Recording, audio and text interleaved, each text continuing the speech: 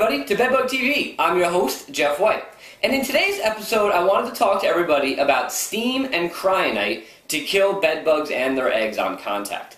This is a video that I've long wanted to put together, and what I want to do is I want to talk to everybody about the differences between the two technologies. Now, in the industry, from a bedbug control perspective, we use those two we use those two tools to kill bugs and eggs on contact without having to use pesticides. And so say we see a bunch of eggs and bugs on the surface of a couch, we can take a steam machine or a cryonite, which is also called ultra freeze, and there's a bunch of other uh, terms that they use to describe it, and hit that area where the bugs and eggs are and kill those bugs and eggs. And the reason why we do that is because many pesticides that we use won't kill the eggs or won't have any effect on the eggs once they hatch. And so that's why we choose these non-chemical tools. Now, there are pros and cons to each of those systems. Now, up front, I want to say that I am a fan and use professionally Steam.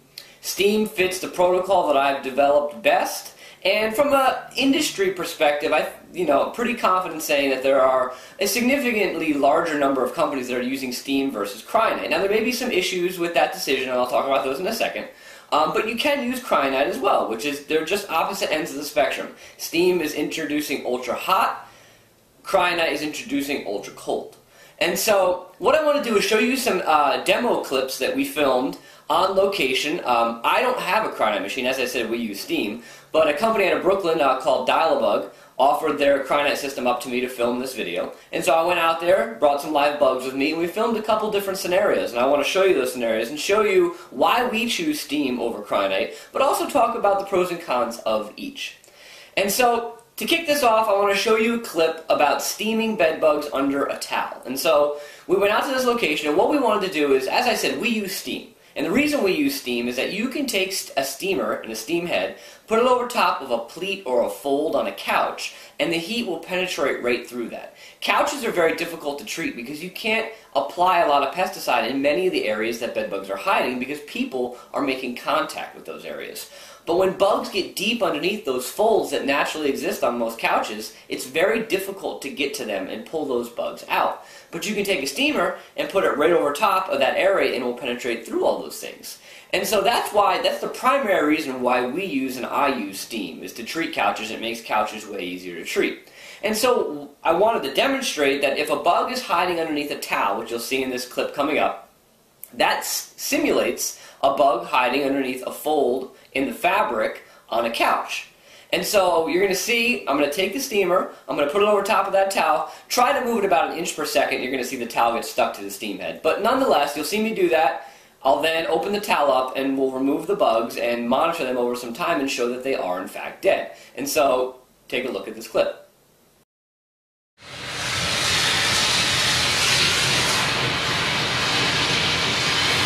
Yeah, I can't even get my hand close to that.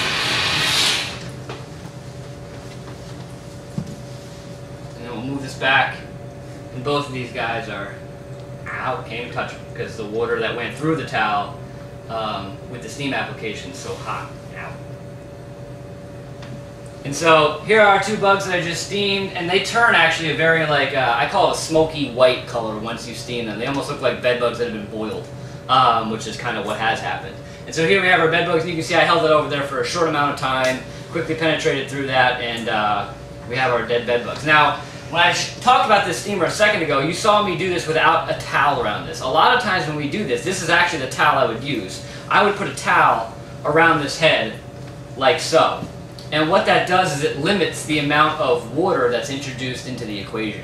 Because um, usually, you know, when we're steaming, we wouldn't want to introduce that much water. Um, but this is just a demonstration just to show you how heat does penetrate uh, a little bit better than cold does.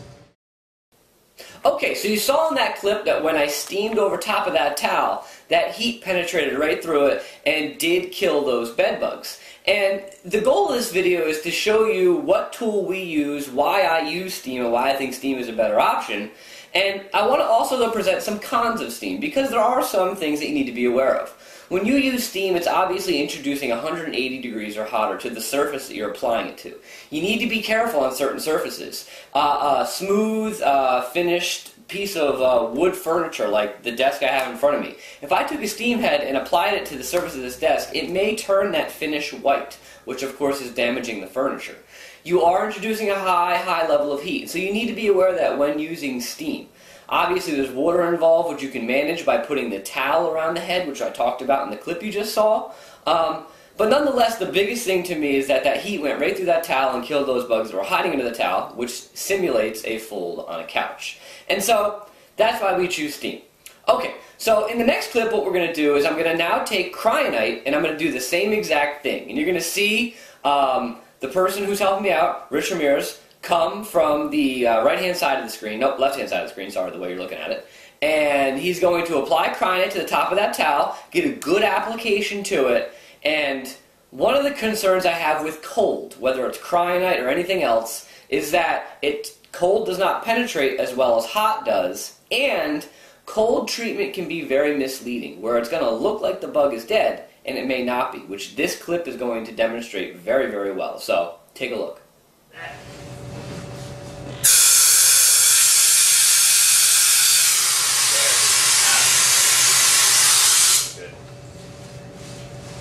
What we'll do, we'll give that a second to set in. And here we have our bugs from before, and our two steam bugs still not moving, and our first Cryonite bed bug is still actually not moving as well. See, that's frozen together, which makes me guess these bugs are probably going to be dead. Move that guy away from the cold. This guy away from the cold as well. And we'll leave those guys for a while and see what happens. But. Okay, so it's been about two to three minutes since we did the last application. Remember, we had these three bugs up here, the two steam bugs, and the bug that we hit with Cryonite before. And we had the two bugs over here that weren't moving right after we hit them. And you can see now, if I poke these guys, they're running around. And so you can see that again, and that was a good application before. You can see that these bugs do, they'll act almost like they're dead. And then you leave them, you go do something else, you come back and you had two dead bugs here and you're looking for them and you're like, where would my bugs go? And they ended up running away. Uh, because it takes them a little while to, I don't want to say thaw, but to warm back up. And these bugs now did, and now they are running around. And so, obviously that is the concern with, with freeze, with cold, is that, you know, they go into that, that dormant type phase and then they end up coming back later on down the road and say warm up. And so I think the take home to this is that if you're going to use any type of cold technology, whether it's cryonite or, or putting bugs in a freezer, or whatever the case may be, you want to make sure that you're getting cold enough for long enough. You want to be freezing for as long as possible. Um, and it's always a good idea if you're using this from a pest control company's perspective is to take a few bugs in the area you just treated and set them aside and come back and check them an hour or two later as the treatment's going on, if you can. You can't always do that. To make sure that they did die. Because a lot of times you can look at something and think something is dead when it's actually not. Alrighty, so pretty amazing stuff. You could see that when we cryonite or ultra freeze the top of that towel, the cold did in fact penetrate that towel. Remember, the towel's very thin, and so that wasn't necessarily shocking. And I even actually thought the bugs were going to die based on what I saw. And lo and behold, when I took those bugs and set them aside, a couple minutes later, they got up and ran away. And that's something we have seen in the past with cold. Now, if you're going to use cold, what you want is you want an extended exposure. I'm not going to tell everybody that if they don't take, say I had bed bugs in this pen, and I took this pen and I put it in a Ziploc bag and I put it in my freezer at home, that the bugs aren't going to die over the course of a week. Yes, they probably are.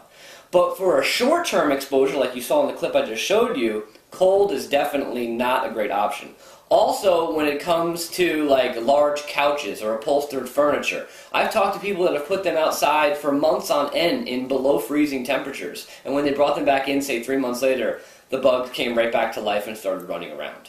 And so, you can see what the concerns are. And what we call that is we call that user error, where the person applying the Cryonite or the ultrafreeze technology may, you know, have some things that they need to be thinking about when they're applying it, and setting the bugs aside to make sure they did in fact die, or the amount of time they're hitting them with the Cryonite may be a good thing if you can do it. Now, you not, can't always do it, as I said in the clip, but if you can do it.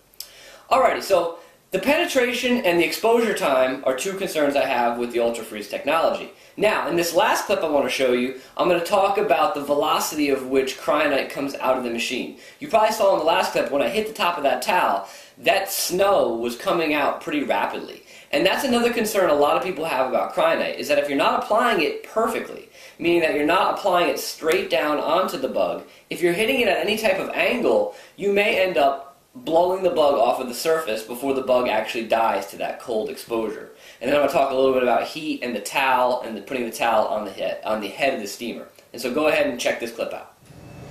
Okay, so another concern with the cryonite system is the velocity at which the snow or uh, you know the dry ice comes out of the unit. And so if we take this leather chair, for instance, we have some pleats and folds in this leather chair that bugs could theoretically be sitting in. And you'll see that when we treat it in a second, you will see the snow or the dry ice kind of shoot all over the place when we're treating it. Go ahead.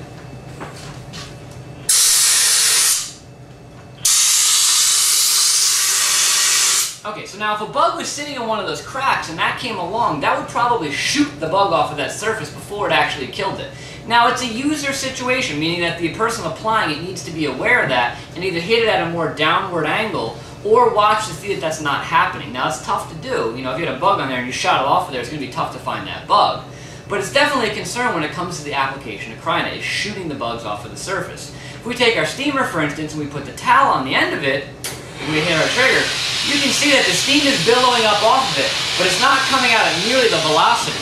And so if we are treating this surface and we had a bug sitting on this, that's very hot to the touch, and we wouldn't have shot the bug off of that surface. And so if we have bugs sitting on a surface that we think we could blow them off of, steam, especially with a towel attached to the end of it, may be a better option.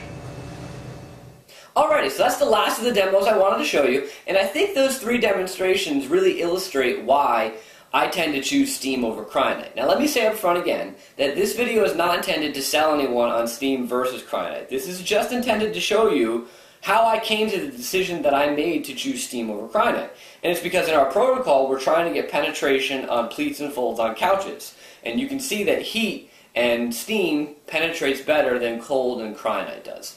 And that's really the biggest reason why we choose Steam over Cryonite. I also feel that there is some other user application error involved with Cryonite that I don't think Steam quite has as much of.